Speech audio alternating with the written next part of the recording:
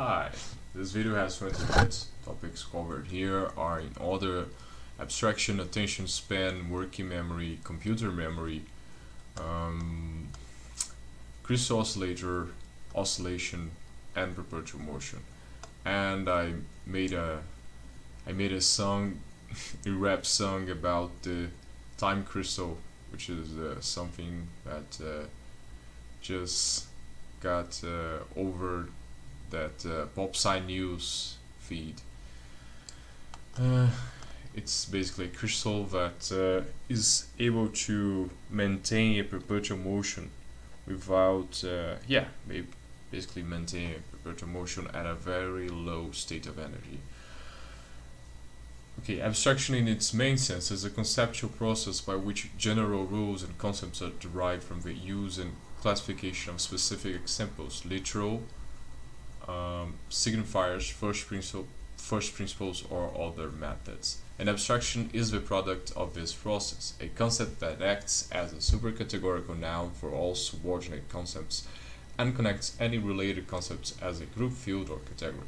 Conceptual abstractions may be formed by filtering the information content of a concept of or a observable phenomenon, selecting only the aspects which are relevant for a particular purpose, for example, abstracting a leather soccer ball to the more general idea of a ball selects only the information, general ball attributes and behavior, eliminating the other characteristics, uh, characteristics of that particular ball. In a type token distinction, a type is more abstract than its tokens. Uh, the token is, in this case, is the leather soccer ball, and the type is the ball. Abstraction, in its secondary use, is a material process discussed in the themes uh, below the article. Alright. Attention span is the amount of concentrated time one can spend on a task without becoming distracted. Most educators and psychologists agree that the ability to focus and sustain attention on a task is crucial for the achievement of one's goals. Estimates for the length of human attention span are highly variable and depend on the precise definition of uh, attention being used. Transient attention is a short-term response to a stimulus that temporarily attracts distracts attention, attracts or distracts attention. Researchers disagree on the exact amount of human transient attention span. Some say it may be as short as 8 seconds. Selective sustained attention, also known as focused attention, is the level of attention that produces the consistent results on a task over time. Some state that the average human attention span is approximately 8 seconds. Others state that most healthy teenagers and adults are unable to sustain attention on one thing for more than about 20 minutes at a time. Although they can choose repeatedly to refocus on the same thing, this ability to renew attention permits people to pay attention to things that last for more than a few minutes, such as long films. Attention span, as measured by sustained attention over time spent continuously on tasks, varies with age. Older children are capable of longer periods of attention than younger children. For time on task measurements, the type of activity used in the test affects the results, as people are generally capable of a longer attention span when they are doing something that they find enjoyable or intrinsically motivated, uh, motivating. Uh, attention is also increased if the person is, is able to perform the task fluently compared to a person who has difficulty performing the task or to the same person when he or she is just learning the task. Fatigue, hunger, noise, and emotional stress reduce the time focus on the tasks. Common estimates for sustained attention for freely chosen tasks range from about 5 minutes for a 2-year-old child to a maximum of around uh, 20 minutes in older children and adults. After losing attention from a topic, a person may restore it by taking a rest, doing a different kind of activity, changing mental focus, or deliberately choosing to refocus on the first topic. What is the time in minutes that contains a well-pronounced space reading of Wikipedia, uh, Wikipedia's attention span article? 8 minutes. uh, working memory. Let's see about measures and correlates. Working memory capacity can be tested by a variety of tasks. A commonly used measure is the dual task paradigm combining a memory span measure with a concurrent processing task, sometimes referred to as complex span. Daneman and Carpenter invented the first version of this kind of task, the reading span, in 1980. Subjects read a number of sentences, usually between 2 and 6, and tried to remember the last word of each sentence. At the end of a list of sentences, they repeated back the word in the correct order. Other tests that do not have this dual task nature have also been shown to be good measures of working memory capacity. The question of what features a test must have to qualify as a good measure of working memory capacity is a topic of ongoing research. Measures of working memory capacity are strongly related to performance in other complex cognitive tests such as reading comprehension, problem solving, and with measures of intelligence quotient.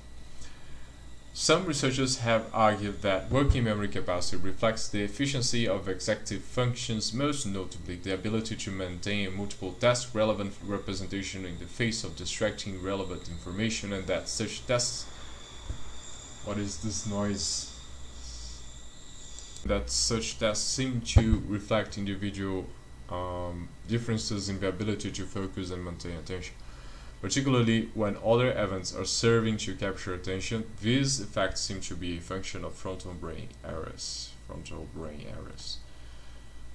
Uh, several authors have proposed that symptoms of ADHD arise from a primary deficit in a specific executive function EF, uh, short, short for EF. Domains such as working memory, response inhibition, or a more general weakness in executive control. A meta-analytical review cites several studies that found significant lower group results for ADHD in spatial and verbal working memory tasks and in several other EF tasks. However, the authors concluded that EF weaknesses neither are necessary nor sufficient to cause all cases of ADHD. Several neurotransmitters such as dopamine and glutamate may be both involved in ADHD and working memory. Both are associated with the frontal brain, self-direction and self-regulation, but cause-effect have not been confirmed. So it is unclear whether working memory dysfunction leads to ADHD or ADHD distractibility leads to poor functionality of working memory or if there is some other connection. Other researchers have argued that the capacity of working memory is better characterized as the ability to mentally form relations between elements or to grasp relations in given information. This idea has been advanced, among others, by Graeme Halford, who illustrated it by our limited ability to understand statistical interactions between variables. These authors ask people to compare written statements about the relations between several variables to graphs illustrating the same or different relation as in the following sentence. If the cake is from France, then it has more sugar if it is made with a chocolate. Uh, it, if it is made with chocolate then if it is made with cream. But if the cake is from Italy, then it has more sugar if it is made of cream than if it is made of chocolate. This statement describes a relation between three variables, country, ingredient, and amount of sugar. Which is the maximum most individuals can understand the capacity limit apparent here is obviously not a memory limit. All relevant information can be seen continuously, but a limit to how many relationships are discerned simultaneously. In computing, memory refers to the computer hardware devices used to store information for immediate use in a computer. It is synonymous with the term primary storage. Computer memory operates at a high speed, for example, random access memory as a distinction from storage that provides a uh, provides low to access program and data storage but offers higher capacities.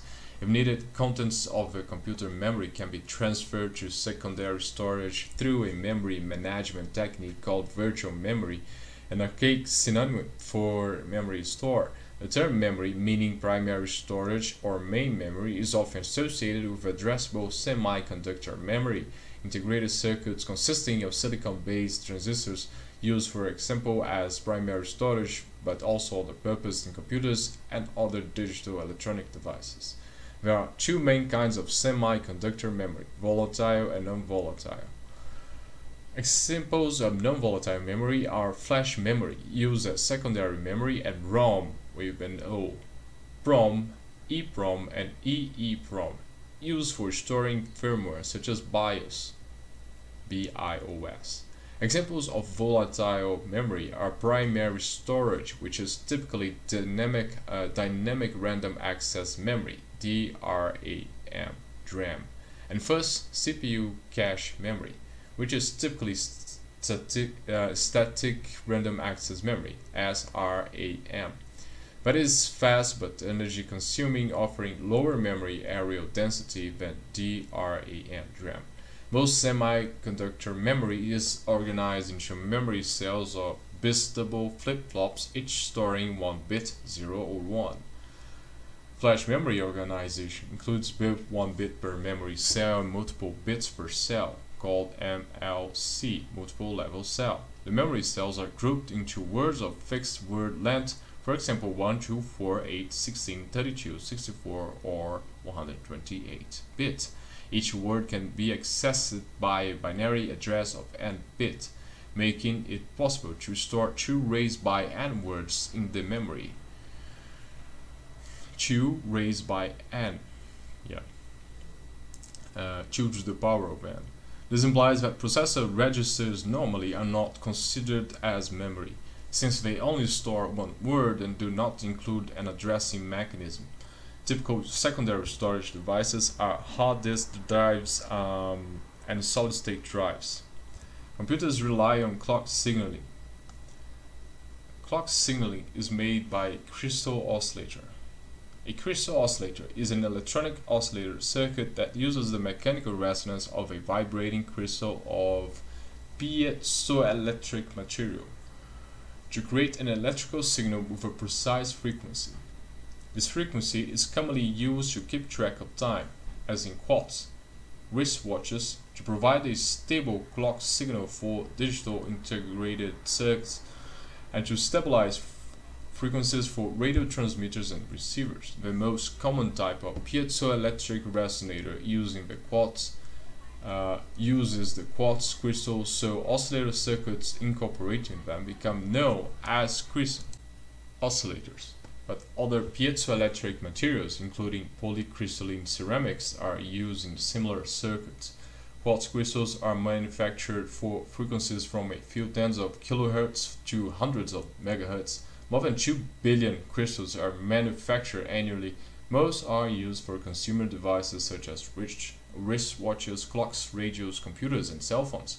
Quartz crystals are also found inside test and measurement equipments such as counters, signal generators, and oscilloscopes. Oscillation is the repetitive variation typically in time of some measure about a central value, often a point of equilibrium or between two or more different states. The term vibration is precisely used, in, used to describe mechanical oscillation.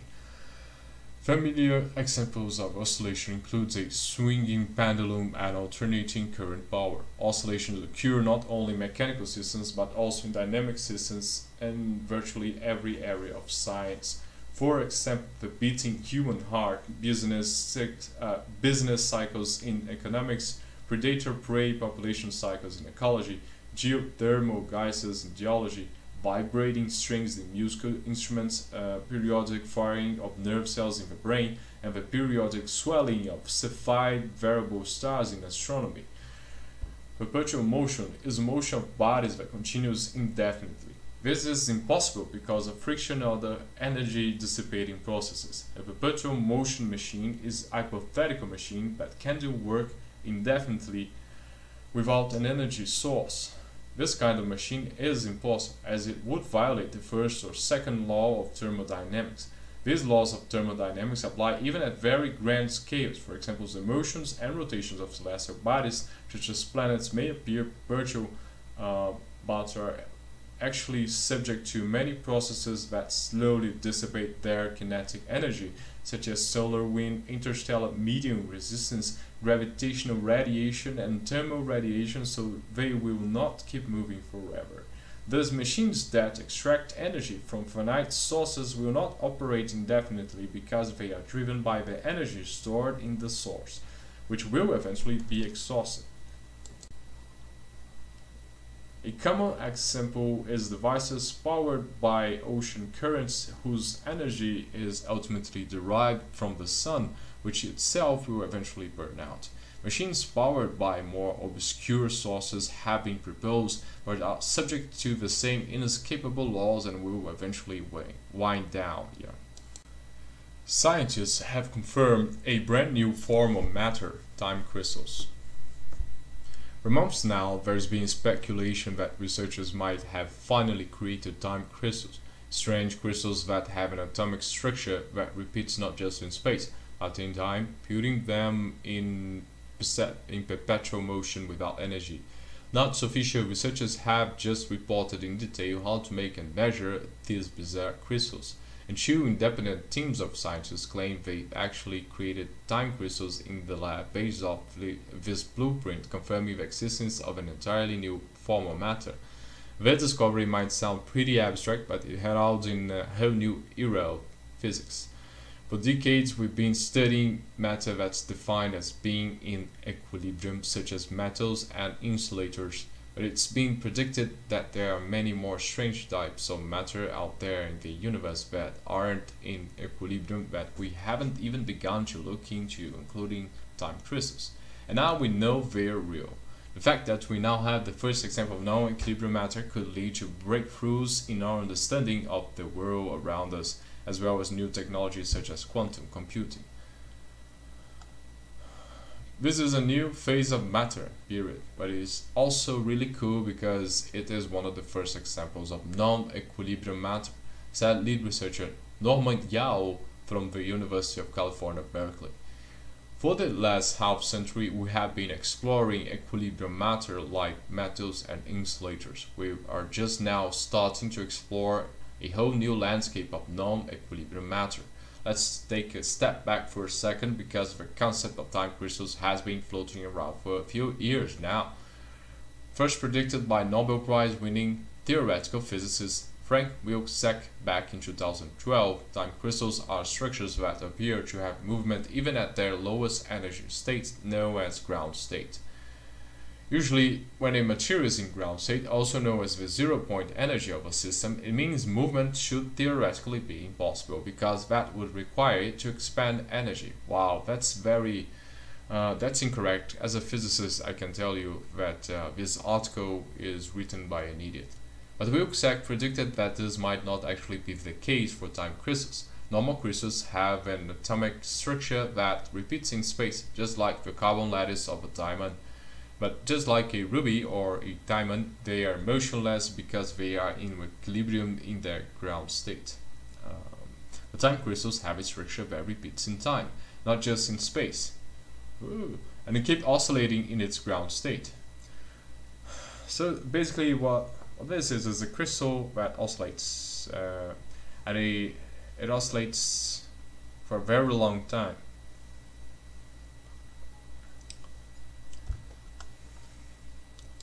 We already have crystals that oscillate and we are using them now on computers. Uh, this one, this one is uh, is part of a model created by Frank Wilczek. Uh, it's the Frank Wilczek is the Nobel Prize winner of 2012.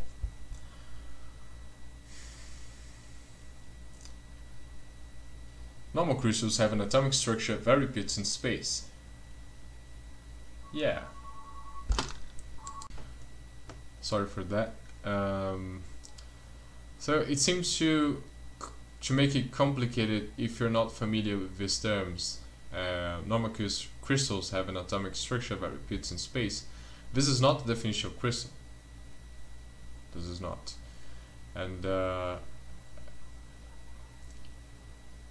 time crystals have a structure that repeats in time is wrong. It's wrong. It's not a structure. It's not what uh, common people call a structure. It's just that uh, the structure of a time crystal oscillates with a very low energy. Uh, the structure doesn't repeat in time.